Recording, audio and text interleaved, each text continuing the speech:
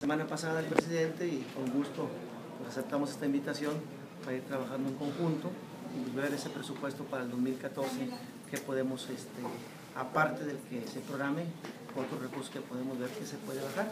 Por ejemplo, eh, todavía eh, podemos bajar aproximadamente 7 millones de pesos para el municipio de Tampico.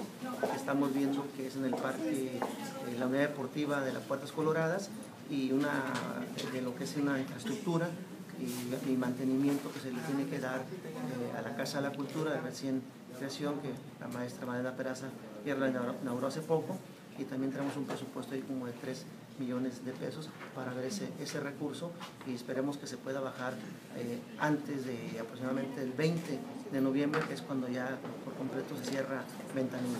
Germán, dentro de tu agenda tienes contemplado lo del hidrotúnel, ver las gestiones. No te puedo... Lo del hidrotúnel, ¿lo tienes contemplado dentro de tus eh, gestiones? Mira, son dentro de las cosas que lo he manifestado, que yo creo que es bien importante ver ese presupuesto para el 2014, ese tipo de obras obras que pues a lo mejor la ciudadanía no las ve mucho, pero son obras de importante, muy importantes para Tampico, en el caso de Hidrotúnel del Ejército Mexicano, que es una obra donde todos los tampiqueños maderenses también, pues ¿quién no pasa por el Ejército Mexicano? Y yo estoy contento porque esa obra nuevamente se reinicie y más que nada por la afectación que tenían los vecinos de ahí que si ustedes pasaron como medios hubiesen visto las condiciones en las que estaban. Señor, ¿se ha dado algunas críticas en su cuenta luego del espectáculo que hizo en el Congreso de la Unión, señor, con diputados? Ay, pues mira, pues puedes checar mi cuenta de Facebook y Twitter y este, yo creo que la visita aumentó de 2.000 y feria que tenía aumentó a 3.000 y cuando mucho fueron 10. Eh, este, los comentarios que hicieron, nada, que pues eso nos pasa en la Cámara. Este, yo creo que no hay ningún error el querer defender a un compañero de mi bancada, que como diputados sabemos que para eso es la Cámara, para discutir desde tribuna o desde tu curul, y cuando tú ves que un compañero de otro partido va a agredir a un compañero, pues yo creo que quién lo va a defender, y como lo he dicho, y si yo veo que lo mismo pueden hacer con un compañero del PRI, del PRD, del PT, de Nueva Alianza, o sea, un servidor en lo que pueda va a apoyar a un compañero. Y esto que yo veo que le cae con espacio a un compañero, creo que el trabajo es lo que hemos demostrado, el primer diputado federal que va a bajar alrededor de 80 millones de pesos al municipio y que hemos trabajado muy intensamente en esas iniciativas como lo hemos hecho en esta legislatura, que ha sido la más productiva de México y los números lo dicen. ¿Ya es más popular? Ya es más popular y a nivel internacional. ¿Enorgullece eso? No, claro, digo, el defender la postura de un compañero, pues yo creo que es bueno, ¿no? O sea, tú veas lo mismo con un compañero tuyo cuando ves que lo van a agredir por la espalda. Creo que todo es una reacción de, como ser humano de cualquier compañero y más si es un amigo tuyo. ¿Podría volver a suceder, Germán, esta postura de defensa? Mira, mientras yo creo que si quieren afectar a algún compañero o algo, yo creo que va a ser la postura no de un Germán Pacheco, sino de cualquier diputado. Te lo digo, si yo veo que un compañero viene de otro partido a agredir a un compañero que está discutiendo en tribuna, que para eso es desde tu curul, y, pararte y decir lo que tú opinas. Para eso estamos en la Cámara de Diputados.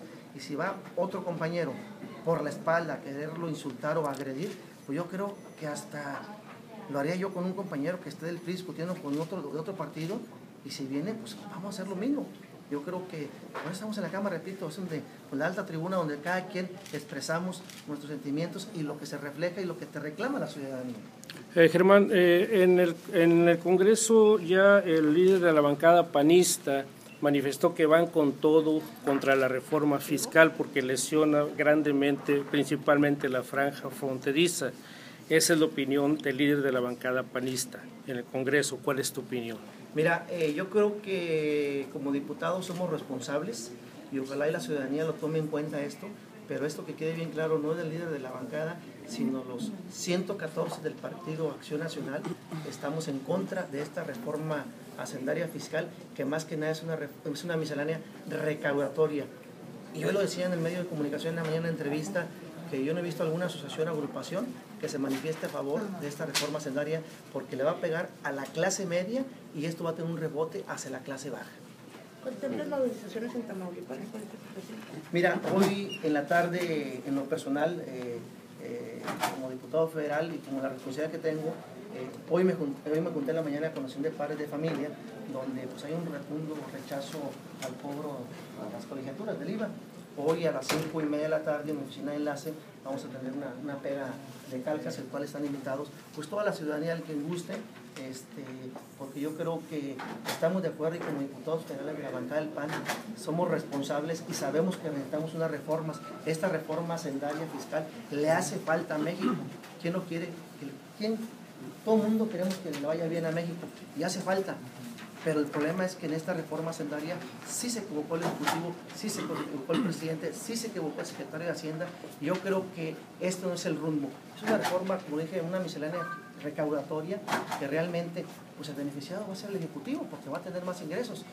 Pero ¿a dónde dejas a la clase? A la clase media que estamos hablando que es la que le da vida, que es la que está reactivando la economía en México. ¿Algún tipo de movilización, paro, algún paro Este, las maquiladoras ya hicieron lo suyo.